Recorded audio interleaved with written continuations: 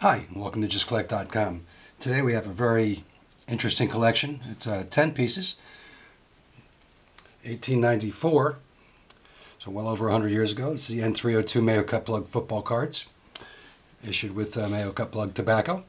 And here we have uh, Bill Hickok from Yale. Cards also have, for the most part, clean backs. So it's Bill Hickok. Frank Morse from Princeton. Augustus Holly from Princeton. G.A. Gray from Harvard. Freddie Murphy from Yale. M.G. Gonterman from Harvard. T.J. Manahan from Harvard. You have Jim McCrea.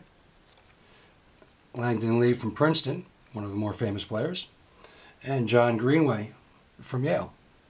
Again, some clean backs, some nice fronts, cards ranging anywhere from authentic poor because of some back issues to VG VGX. Uh, incredible collection that was brought into us from a New York collector who had these passed down to him from a friend.